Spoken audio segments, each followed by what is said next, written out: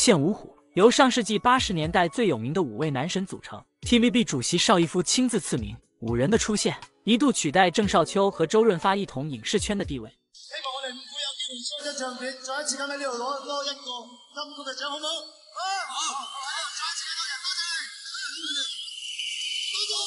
像黄日华的郭靖、刘德华的杨过、梁朝伟的韦小宝、苗侨伟的杨康以及汤镇业的段誉，至今无法超越的经典。两岸三江家喻户晓，不输当下的流量小生。后来这五人中间诞生了天王与影帝，也发生了不少形形色色的故事。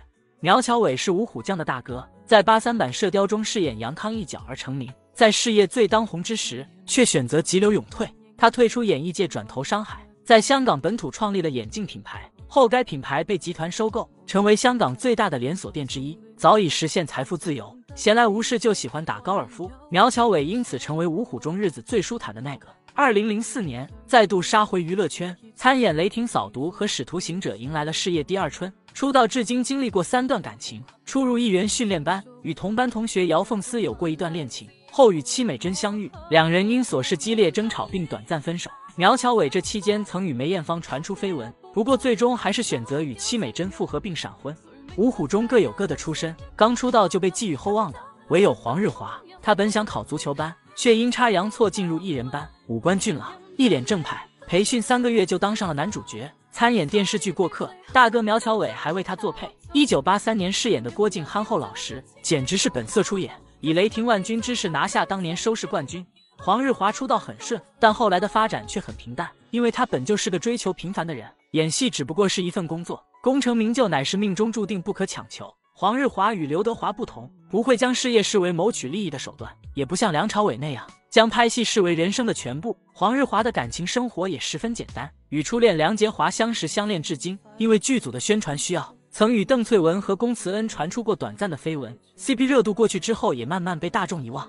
不同于黄日华的好男人形象，汤镇业的身边向来女人扎堆。年轻时英俊不凡，基本没跑过龙套就登上事业巅峰，爱情也随之而来。一九八二年，翁美玲参选港姐出道，由于缺乏拍戏经验，便在片场四处请教各位前辈。一来二去，便与汤镇业产生了感情。女方性格倔强，男方偏于内向，两人相处间逐渐产生误会，感情也随之出现破裂。翁美玲离世。粉丝们集体炮轰和指责汤镇业。虽说两人间到底发生了什么已无从考证，但汤镇业受此事影响后，事业和人气一落千丈，背着负心郎的名号慢慢淡出大众视线，跑去大陆经商赚得盆满钵满。如今他的形象也大不如从前，身材发福，脑门半秃，偶尔会跑到剧组挑个配角过把戏瘾。再来说说刘德华，他是五虎中唯一的全能王，吹拉弹唱样样精通，事业全面开花。成为娱乐圈实打实的天王巨星。当年在 TVB 辛苦拍戏却赚不到钱，刘德华提议五虎一起拒签五年合约，目的就是想逼着高层加薪。可还没等高层知晓此事，梁朝伟迫于生计投降，签下了合约。带头的刘德华因洽谈失败，惨遭无限雪藏，四百多天无戏可拍，五虎将开始名存实亡。一九九一年，曾志伟还导演了一部电影叫《五虎将之决裂》。从那以后，梁朝伟便被扣上了背叛兄弟的帽子。这件事之后。两人的演艺事业发生偏折，无线将大把资源都给到了梁朝伟。拿到金像奖最佳男配角的时候，刘德华还陷入无戏可拍的窘境。在演技方面的较量，显然刘德华一直占据下风。但华仔属于那种绝不言败的人，把很大部分精力转战歌坛，成为赫赫有名的四大天王，影响了一个时代。刘德华在娱乐圈从不与人树敌。多年以后，他表示梁朝伟仍是他的兄弟，但无线五虎从此难聚首。